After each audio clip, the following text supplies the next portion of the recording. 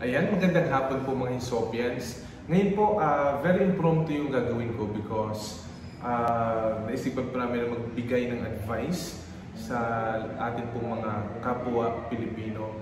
And we know na hindi po dito nagtitigil yung virus. So we want to educate you about our Hisop Vitamin C. Ano ba yung kanyang nagagawa? Una po, ah, ah, recently lang we were featured in DOST sa mga naging uh, angat sa pag pag-innovate ng mga bagong produkto. And uh, sa kasagsagan ng COVID nung atin pong last year, uh, marami pong mga government ang nag-purchase po ng ating vitamin C. And now, we want to uh, give you a demonstration kung ano ba yung naggagawa itong ating vitamin C.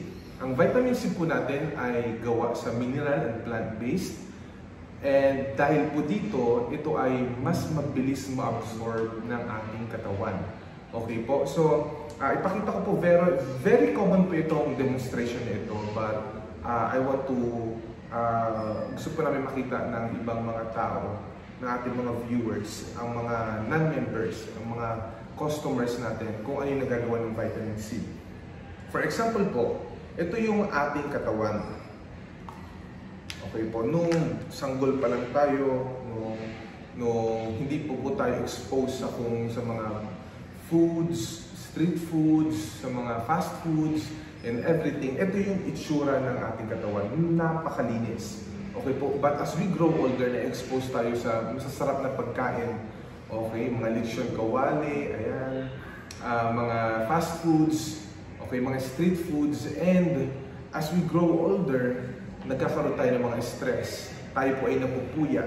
Okay, nagkakaroon tayo ng mga problems na lagi po nating iniisip. So, ang nangyayari sa ating katawan ay nadudumihan. Okay po? So, nagiging ganito pong itsura ng ating katawan. Umiitim. Okay?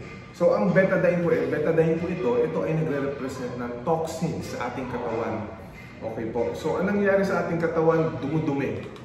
Okay po? Dumudumi siya na dumudumi And there's no way yung ating katawan po ay nafa-flush itong mga toxins.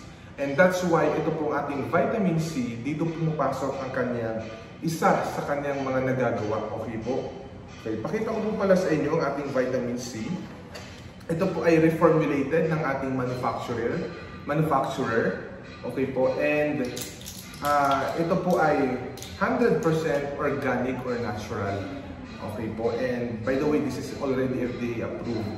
Ayan po. So ito po yung ating vitamin C. Ang vitamin C po natin ay natutunaw sa tubig at hindi po nagkakaroon ng buo-buo. Okay. Wala na po naman naglabat na iubos na natin. So, haluin po.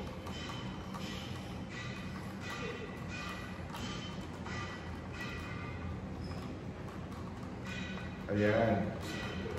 So gusto ko ipakita na wala pong ni isang powder ang natira.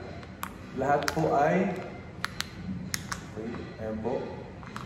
Ito po ay talagang uh, natunaw lahat. Ayan. So ito po yung vitamin C and ito yung katawan natin. Ano po? So ito po ay nagre-represent ng toxins sa ating katawan, yung mga stress, yung bawat iniinom natin mga uh, mga soft drinks, ayan, kung kayo po yung umiinom mga beers, nag-smoke kayo, ito yung nagiging itsura ng ating katawan. But as we take ng vitamin C, ito po. Ayan, nakikita niyo po? Uh, nagiging clear. Okay, so ang uh, ibig sabihin yung mga toxins sa ating katawan, nalilinis po ng ating vitamin C and nafa-flush through our sweat, sa pag-ihi.